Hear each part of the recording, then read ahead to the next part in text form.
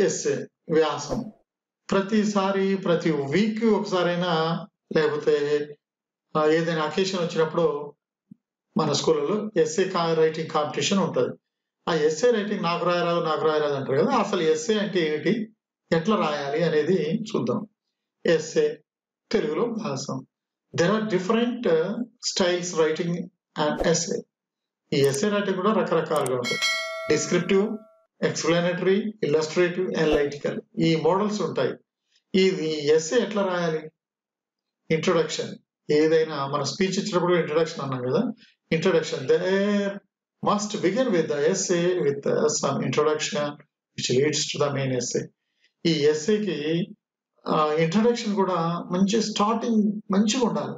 SA ఇది quotation తోటి కావచ్చు లేకపోతే ఒక సామెత ద్వారా కావచ్చు ఒక డైలాగ్ ద్వారా కానీ స్టార్ట్ చేస్తే మంచిదా? ఇంట్రడక్షన్ మెయిన్లోకి చిన్నగా తీసుకుపోవాలి ఈ ఎస్ఏలో ఉన్నటువంటి ముఖ్యమైనటువంటిది ఏంటంటే పేరాలు పేరాలుగా విభజించినప్పుడు ఫస్ట్ పేరా రెండో పేరాకి లీడ్ ఇవ్వాలి రెండోది మూడో దానికి లీడ్ ఇవ్వాలి ఇది ఫస్ట్ పేరా ఫస్ట్ పేరా రెండోది రెండో మూడు మూడు ఉండొద్దు. ఫస్ట్ దాంట్లో నుంచి చిన్నగా ఇప్పుడు దీనివల్ల లాభాలు ఏమిటో చూద్దాం. లాభాలు చూసాం కదా నష్టాలు కూడా చూద్దాం. ఇవన్నీ ఉండటం వల్ల మనం ఏమైనా సజెషన్ ఇవ్వగలమా అనేది చూడాలి. లాస్ట్కి కంక్లూజన్ ఉండాలి. ఇక్కడ చూడండి ఇంట్రొడక్షన్ ఇచ్చాం. ఆర్గ్యుమెంటేషన్ ఎస్ఏ ఎక్స్ప్లెనేషన్ ఆర్గ్యుమెంటేషన్ ఉండాలి. తర్వాత కంక్లూజన్ ఉండాలి. కంక్లూజన్ కూడా ends with some conclusion with theme of the essay వాళ్ళు ఇచ్చినటువంటి దానికి కంక్లూజన్ ఇంట్రడక్షన్ ఆర్గ్యుమెంట్ కంక్లూజన్ ఈ మూడు వీటిని దృష్టిలో పెట్టుకొని మనం రాయాలి.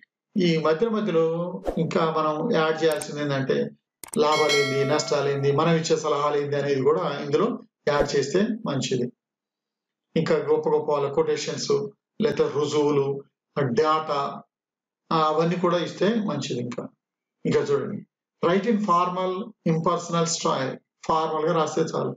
Introduce each point in separate paragraph ఏదైనా ఒక ఒక విషయాన్ని చెప్పాలనుకున్నప్పుడు ఒక్కొక్క పారాగ్రాఫ్లో ఒక్కొక్కటి దాని గురించి వివరించాలి. పారాగ్రాఫ్లో వైజ్ ఉండాలి.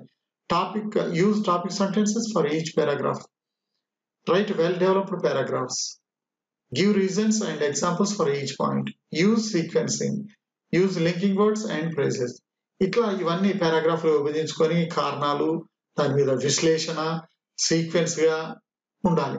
ఒకసారి ఏమో లాభం చెప్తావు ఒకసారి నష్టం చెప్తావు అసలు వద్దంటావు గజి గజిబిజి లేకుండా ఎస్ఏ ఉండాలి. నీట్గా ప్రజెంటేషన్ నీట్గా ఉండాలి పేరావైజ్ ఉండాలి. కంక్లూషన్ కూడా చక్కగా ఉండాలి. దానికి సంబంధించినటువంటి చిన్నది బ్రేక్ఫాస్ట్ బ్రేక్ఫాస్ట్ ఈజ్ ఇంపార్టెంట్ అనే దాని గురించి ఇక్కడ ఎస్ఏ ఇక్కడ ఇవ్వటం జరిగింది. మీరు దీంట్లో చూసుకోవచ్చు. బ్రేక్ఫాస్ట్ ఎంత ముఖ్యము ఎంత ఇంపార్టెంట్ అనేది ఇందులో ఉంటుంది.